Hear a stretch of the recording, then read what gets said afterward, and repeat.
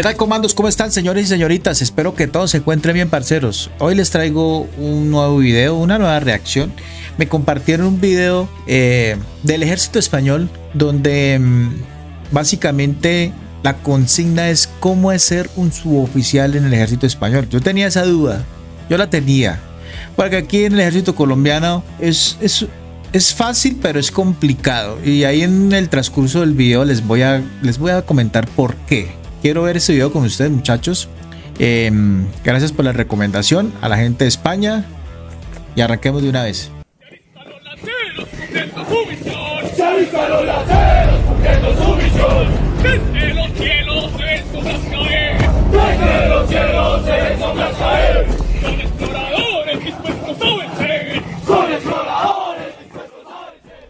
Bueno, señores, ya saben, ahí en la cajita de comentarios les dejo el link al video para que pasen y dejen su apoyo. Así que bueno, vamos a arrancar. Quiero saber más o menos cómo es que se puede ser suboficial en el ejército español. Tengo esa intriga, ¿no? Aquí en Colombia es, es sencillo, pero todo vale, todo cuesta mucho dinero realmente mucho dinero. Aquí para usted ser militar en Colombia, o sea, para hacer su carrera, aquí toca pagar, aquí no es gratis, aquí usted tiene que pagar. Entonces quiero ver cómo es en, España. Hola a todos compañeros y bienvenidos a este nuevo vídeo. En el vídeo de hoy vamos a hablar de las posibilidades de acceder como suboficial y también de ascender una vez dentro, siendo tropa, a suboficial, a esa escala intermedia entre oficiales y tropa y marinería. Antes de nada, quiero recordaros que esto, este documento que estáis viendo, es de mi autoría y os lo dejo completamente gratis abajo en la descripción. no hay que pagar absolutamente nada, simplemente vais, ponéis vuestro email para que se os envíe y lo descargáis de forma gratuita, porque hay muchas más cosas que no voy a decir en el vídeo porque es que me daría, se quedaría larguísimo, que las vais a poder encontrar aquí, ya que he recopilado información de la página de reclutamiento de defensa. O sea que todo lo he cogido de allí, es toda información pública y oficial, o sea que la podréis ver eh, con más calma aquí. Bueno, en este video también voy a hacer una pequeña comparación, ojo, ¿no? Porque voy a reaccionarlo, pero pues voy a hacer una comparación de, de algunos procedimientos que se hacen en España, a ver si aquí en Colombia existen o, o no, son iguales. Vamos a ver, sigamos. De todas formas, os comentaré lo primero, eh, los sueldos a percibir, que sí que es cierto que no es lo más importante, es importante saber cuánto vas a cobrar. Claro, porque usted va a salir a trabajar, tiene que saber cuántos quieren a pagarse o no. Aquí en Colombia es muy, muy poco, realmente yo creería que cuánto se gana un suboficial recién salido de la escuela, le pondría unos, ¿qué? 800 dólares por ahí. Y creo que, creo que es mucho. De, sí, por ahí unos 2 millones. A ver, les voy a hacer la, la conversión rápida. Eh, menos, inclusive por ahí 600 dólares estaría en sueldo. En su recién salido de la escuela. En tu formación. Tened en cuenta que el ciclo de formación de un suboficial sin titulación previa, es decir, si yo no tengo ese ciclo superior que me piden para acceder a esa especialidad, eh, bueno, se desarrollará a lo largo de tres años. Dos años de formación específica, o sea, perdón, de formación general, sin más, que es cuando tú te vas a sacar realmente el título de técnico superior, y luego un año de formación específica, donde te formas ya para hacer tus funciones como militar suboficial. En este caso, esa formación específica general, bueno, esa formación general, perdón, eh, estaríamos percibiendo unos 359,55 euros mensuales. O sea, a, a, ver, a ver, a ver, a ver, a ver, entiendo, entiendo. O sea, en España les pagan por estar haciendo el curso. Sea, usted entra a la formación y les pagan de una vez, les comienzan, comienzan a vengar un salario. Interesante. Interesante porque aquí en Colombia no es así. Aquí en Colombia no es así. Aquí todo lo contrario, tiene que pagar. Tiene que pagar. Incluso le dan a uno una bonificación y no le queda ni plata, hermano. Pero bueno, pero interesante. Eso es bueno. Eso es bueno. Es lo mismo que se percibe en el CFOT de tropa. En ese año de formación específica estaríamos ya ganando 431,54 euros mensuales. Esto es neto, ¿vale? O sea, esto es, ya es después de todo y ya siendo profesional estaríamos ganando sin trienios unos 1.624,3 euros mensuales. Aquí pues, ya está. a la conversión de Colombia a 1600 euros es mucha plata. Ando en destino y percibiendo, pues, además el plus de destino y bla, bla, bla, ¿no? Que estamos hablando que son casi 5 millones de pesos, 1000 euros son casi 5 millones de pesos, un poquito menos, y 600 son, hmm, pucha, como casi 8 millones de pesos mensuales pues para nosotros es dinero, ¿no? Lógicamente, yo sé que en Europa no es un salario que digamos que sea oh, lo mejor, pero pues es bastante dinero aquí. Pues a comparación de los 2 millones de pesos que gana un cabo recién salido, pues es mucha plata. Sin embargo, que esto es algo muy importante para aquellos que están dentro y buscan ascender, si el ascenso se hace mediante una promoción interna, es decir, ascender desde la escala de tropa, durante todo tu ciclo formativo te mantendrán el sueldo íntegro de tu empleo anterior. Aquí pasa lo mismo, aquí también, eh, eh, a ver, usted puede ingresar como civil, o sea, desde la civil, y como soldado profesional que lo ascienden al, lo mandan a hacer curso y usted le dejan el sueldo de soldado profesional. Lo único que le quitan de pronto es la prima de, de orden público si la ganaba. De resto sigue igual. Es decir, si yo era cabo y estaba percibiendo unos 1100, 1200, voy a seguir percibiendo esos 1100, 1200 hasta que alcance ser profesional, que entonces ya sí cobraré lo que cobra un suboficial. Allá los suboficiales, aquí en Colombia los cabos son suboficiales, empiezan, aquí no hay tropa, no hay cabos de tropa, o sea, soldados profesionales y ya y luego el cuerpo de suboficiales empiezan como caos, caos terceros. Es una forma de compensar a los que ya eran tropa de antes, además de que se le guardan un 80% al menos de, plazas, por lo que es mucho más fácil ascender una vez dentro en tropa que acceder desde fuera. También, claro, si entras siendo suboficial, pues bueno, pues mucho mejor. También es que, claro, aquí depende de cada uno y cómo lo pretenda enfocar. Eh, por lo tanto, tener claro que eso, que el ciclo eh, de formación durará de 3 eh, años como norma general, salvo que ya tengamos el título superior que se nos indica que para la especialidad que nosotros queramos, entonces simplemente haremos un año de formación específica militar, donde nos formarán como suboficiales y como militares para aquellos que no hayan estado nunca dentro, que también se les dará una instrucción, imagino, especial. Entonces yo aquí os he puesto dos ejemplos muy claros. Soy soldado sin ningún tipo de titulación previa y asciendo mediante la superación de la prueba de promoción interna a la escala de suboficiales, que luego hablaremos de esta prueba. En este caso, mi instrucción durará entonces tres años, ya que no cuento con la titulación necesaria para dicho empleo. Sin embargo, soy soldado, pero cuento con una titulación previa, ya sea porque me la saqué antes de ser soldado o mientras era soldado estaba estudiando un ciclo superior y me la saqué, ¿vale? Por lo civil y asciendo mediante la superación de la prueba de promoción interna a la escala de suboficiales, con titulación previa. En este caso, mi instrucción durará tan solo un año, ya que cuento con la titulación necesaria para dicho empleo. Interesante. Aquí en Colombia no. Aquí no pasa nada, a no ser que usted haga un curso administrativo, que eso es un, cuento diferente. Pero si usted es curso no regular, normal, así usted tenga una titulación de afuera de la civil, no le sirve para nada. Hace sus dos años de escuela los, los, los, soldados que ascienden a suboficiales, que los mandan a hacer cursos, sí, el curso dura menos, dura seis meses. ¿Sí? Solo dura seis meses. Pero el que es civil y ingresa a la escuela, si, no importa si usted sea lo que sea en la civil, no importa, dos años de escuela. ¿Sí? Porque dentro de la escuela hacen un curso, una carrera tecnológica. Eh, los soldados profesionales que hacen curso no hacen carrera tecnológica. Ellos tienen que hacerla después, validarla. Pero no, aquí sí no funciona así. Realmente no, no funciona, muchachos. Por lo tanto, se premia, bueno, se premia, se, bueno, sí, se premia el hecho de que tú ya tengas la titulación de antes. Esto todo lo podéis encontrar en, el reclutamiento de defensa. ¿vale? Os dejo de todas formas los links siempre abajo en la descripción. Y esto es algo muy importante porque a mí siempre me preguntáis, ¿Qué ciclo necesito para ser eh, suboficial de infantería de marina? Como me preguntaba el otro día un chico.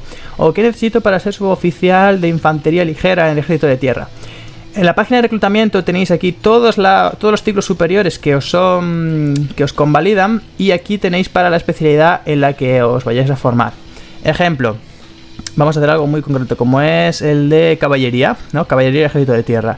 Pues para ser suboficial, ser sargento de caballería, necesito un técnico superior en asistencia a la dirección. Y también nos valdría tanto para infantería corazada mecanizada como para infantería ligera. Técnico superior sería aquí una tecnología. Aquí existen los técnicos, tecnólogos y profesionales. Entonces creo que sería una tecnología. Como para infantería de marina. Creo que se entiende bien, ¿no? Entonces, qué ciclo superior debo sacarme o qué ciclo superior voy a sacarme si accedo a esa especialidad. Pues yo si apruebo la, por forma de promoción interna, soy soldado, soy cabo, soy lo que sea, y asciendo a suboficial mediante la superación de las pruebas de selección y entro en la especialidad de, por ejemplo, eh, yo que sé, eh, ingenieros, y yo no cuento con, un, con la titulación superior, los dos primeros años en lo que se me va a mí instruir es eh, para ser técnico superior en proyectos de obra civil. Y al acabar esos dos años, a mí se me va a dar el título como que soy técnico superior en proyectos de obra civil. Bueno, oiga, interesante ese dato. Aquí en Colombia, los dos años, usted también hace una carrera tecnológica o el técnico superior que es en España. Eh, sale con dos. Bueno, hay, hay cinco que pueden escoger, que no recuerdo bien, derechos humanos, deportes. Hay cinco carreras, pero sale con una que si todo el mundo sale con esa, que es la tecnología en gestión y entrenamiento militar. Todos, todos los suboficiales de escuela que duran dos años salen con esa carrera y salen con otra que escogen, eh, que no recuerdo cuáles son, les soy sincero, pero son cinco y ellos escogen otra, salen dos titulados dos veces. Que luego me vaya del ejército, no importa, porque esa formación es convalidada para la vida civil también. Y sería apto, en este caso, para ser ingeniero suboficial. En el caso de que yo ya tenga este ciclo superior, yo ya sea técnico superior en proyectos de obra civil, porque igual a los 18 años me metí en este ciclo y lo saqué, y a los 25, por decir algo, entré al ejército como tropa, yo voy a poder ascender directamente a suboficial ingeniero con tan solo o sea, solo haciendo un año, de formación, que va a ser la formación específica, porque yo ya cuento con el título superior. Espero que se me entienda. De todas formas, si tenéis cualquier duda, pues me lo comunicáis por mi Instagram 2020-soldier o por los comentarios de este vídeo. Que os intentaré responder siempre, sabéis que respondo, aunque a veces tarde. Vamos entonces con los requisitos para ser suboficial, que esto es muy muy importante. Vamos a imaginarnos y vamos a ponernos en el supuesto de que venimos desde la calle, de que no somos tropa, de que no somos militares.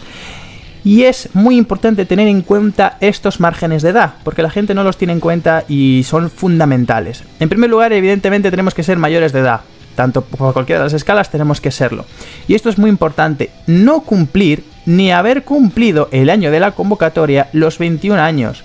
Ojo, tenemos que entrar siendo extremadamente jóvenes, jóvenes, salvo que ya se encuentre con la titulación previa necesaria, que la edad se amplía hasta los 26 años en caso de acceso directo. Oiga, oiga, oiga, ojo, ojo que aquí en Colombia no pasa eso. Bueno, sí pasa, pero a ver, sí pasa, pero para la es que aquí hay dos carreras, muchachos. Sí, aquí está la, el curso normal, curso normal de suboficiales y está el curso de el curso administrativo. curso administrativo es para la gente que eso, que tiene una carrera, ¿no? Entonces, eh, el ejército necesita enfermeros. Entonces ya hay gente que hizo su carrera y va y se presenta y el curso dura como tres meses, creo que es, o seis meses, no recuerdo, y ya, ¿sí? Eh, pero veo que aquí se amplía para cualquiera, ¿sí? Para el curso normal, hasta los 26 años teniendo una carrera tecnológica. Aquí no, aquí sí bailas, Vuelvo y repito, aquí no interesa que usted tenga carrera tecnológica, si va a hacer el curso de dos años, no interesa. Hace sus dos años igualitico. ¿Sí?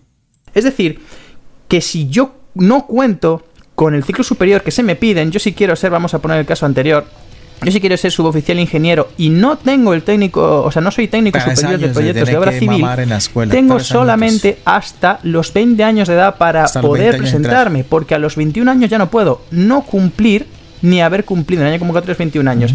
Si la convocatoria es en febrero. si lo tiene, puede ingresar hasta los 26. Eso es bueno.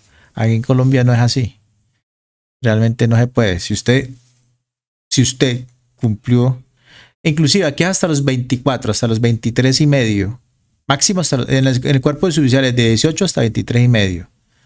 Creo que es así. Si usted pasa de los 24, no puede ingresar yo cumplo los 21 en junio, ya no puedo presentarme. Y si la convocatoria es en junio y yo los cumplo en febrero, tampoco puedo presentarme. No cumplir ni haber cumplido. O sea que, tenemos que entrar de forma extremadamente joven. ¿Vale? Lo digo para que esto hay que tenerlo en claro. esto tiene que ser ya desde pequeñito. ¿Vale? Salvo que tenga eh, el curso de titulación previa necesaria, que entonces se amplíe hacia los 26 años. Yo a los 18, por ejemplo, al cabo de bachillerato y me pongo a hacer ya este ciclo superior porque sé que quiero meterme a suboficial ingeniero del ejército. He hecho eh, los dos años o tres eh, del ciclo superior, dependiendo si repito un curso o no, o las prácticas, lo que sea, y entro con veintipocos años, ¿vale? Pues tendría un número de intentos. Cuanto antes saque el ciclo superior, mejor, porque más intentos podría hacer. Pero importante, ¿vale? Importante el tema de la edad. Y luego lo de los cuerpos musicales, eh, la máxima son 27 años, porque lo que se exige es no es un ciclo superior, sino que es años de conservatorio y etcétera, que yo ahí no me voy a meter porque desconozco totalmente. Sin embargo, mediante la promoción interna, es decir, siendo tropa, los años de edad se incrementan a los 34 años sin titulación y a los 36 años con titulación. O sea, pucha, harto. Aquí no. Aquí también el soldado profesional le da lo mismo. 24 años. Si usted tiene más de 24 años, llórelo, no puede ser cabo. En cambio, allá vea, hasta los 34 años, un soldado o otro, la tropa puede llegar a ser suboficial. Uf. Pues que aquí sí daría en cierta manera, porque a los 34, eh, un sargento en Colombia, un sargento segundo, que creo que es el grado que inician en España, eh, un sargento segundo tendría fácilmente 32, 33 años, más o menos. ¿Sí? Pero interesante, se amplía mucho la edad, muchachos. Hay gente que quiere ser militar y por temas aquí en Colombia de edad. Como veis, se puede entrar siendo muchísimo más mayor si ya somos tropa previamente, que esto es lo interesante, yo creo. ¿vale? Para mí es lo, sería lo interesante, entrar siendo tropa y al año ya incluso poder opositar y te quitas lo de los años estos de encima, que es un maldito agobio. O sea, de locos. En el caso de que no tengamos la titulación, eh, debemos tener bachiller o una titulación equivalente a las contempladas en la disposición adicional tercera del Real Decreto o de la Madre que lo parió. Evidentemente, ¿vale? O sea, nosotros vamos a cursar un ciclo superior, tenemos que tener los requisitos necesarios, igual que tienen los civiles, para acceder a ese ciclo superior.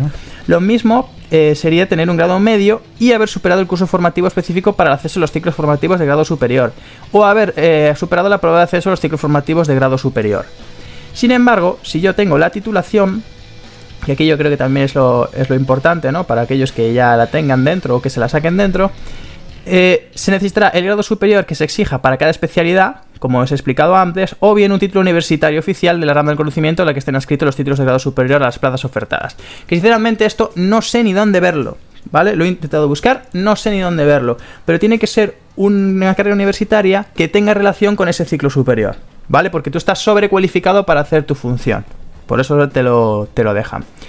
Y ahora vamos con las pruebas a realizar. En primer lugar, un concurso de oposición, o sea, es una fase primera, que es un concurso de oposición exactamente igual que tropa, en el que el concurso sería los méritos que podremos añadir nosotros, carnes de conducir, eh, títulos de inglés, en este caso la, bueno, la, todos los cursos, todos eh, bueno, todo lo que podamos añadir que de puntos, básicamente, ¿vale? Exactamente igual que pasa con tropa. Y luego una fase de oposición que sería la propia, el propio examen. En este caso lo tenemos aquí, ¿no? Fase de concurso consistirá en la valoración de los méritos aportados por el aspirante en establecimiento de su orden pelación, pues hay un carnet de conducir de camión, un carnet de conducir de moto, un título de inglés, etcétera. Todo eso sumará puntos. Y la y en el caso de la prueba de oposición, es decir, la fase del examen, y aquí no lo he puesto porque no lo ponía reclutamiento de forma expresa, pero lo hago mención aquí en el vídeo, en el caso de que tengamos la titulación necesaria, no se nos va a exigir un examen teórico. Simplemente haremos un examen de inglés con nivel, en este caso, B1, una comprensión escrita, que son 30 textos cortos, eh, gramática y vocabulario, esas 30 preguntas, perdón, en relación a textos cortos, 30 preguntas en relación a gramática y vocabulario, con un nivel B1, en principio, ¿vale? En principio, eso sí tenemos la titulación específica, ya vengamos de fuera o ya ascendamos desde dentro. Sin embargo, sin la titulación específica, que yo creo que aquí es donde está la carne del asunto, si yo no tengo ese ciclo superior que me exige, se me va a exigir un total de dos exámenes, uno de matemáticas y uno de física, de 100 preguntas teóricas cada uno con cuatro opciones de respuesta de tipo test. Ojo, ¿vale? hay que saber que va a haber que estudiar al menos matemáticas y física. Y también se me va a exigir la prueba de inglés, pero esta vez con nivel A2, con 30, o sea, 30 preguntas de textos cortos y 30 preguntas de gramática y vocabulario. Por tanto, la prueba inglesa es parecida, solo que el nivel es diferente según, eh, según la Academia Master D. Esto lo estoy consultando ahí. Lo podéis buscar allí porque es de donde lo he sacado. Y sin embargo, eh, cuando entro sin la titulación, se me exige esas 100 preguntas de matemáticas y esas 100 preguntas de física. Veo, a ver, analizo que, que en el ejército español se valora mucho la preparación académica de la persona que va a ingresar.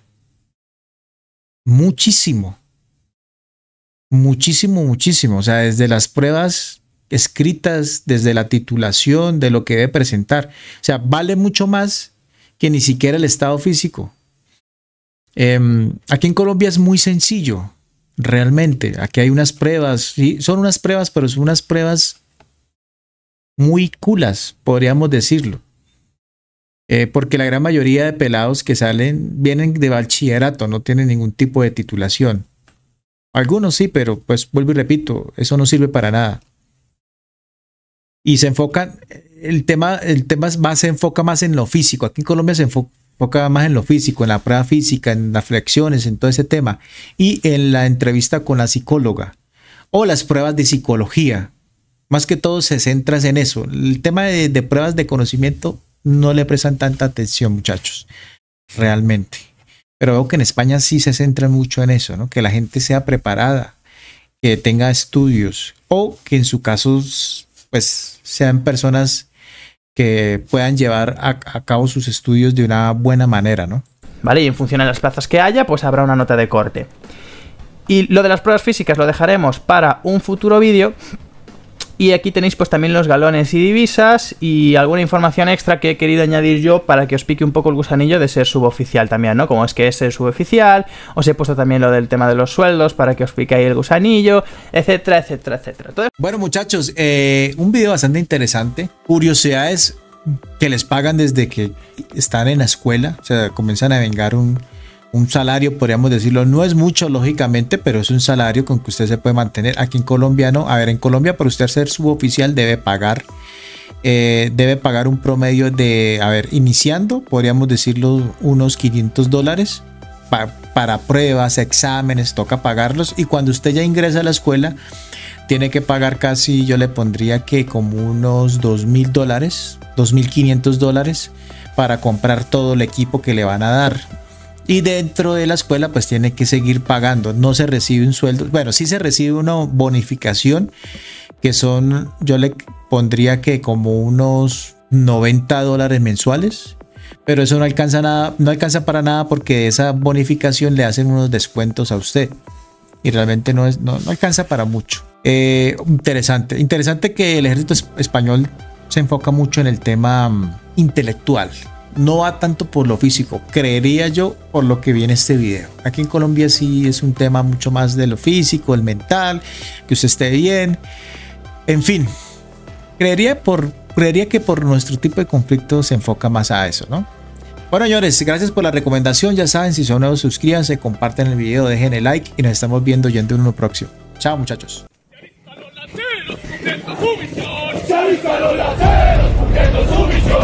¡Que los cielos se pongan caer! ¡Que los cielos se pongan caer!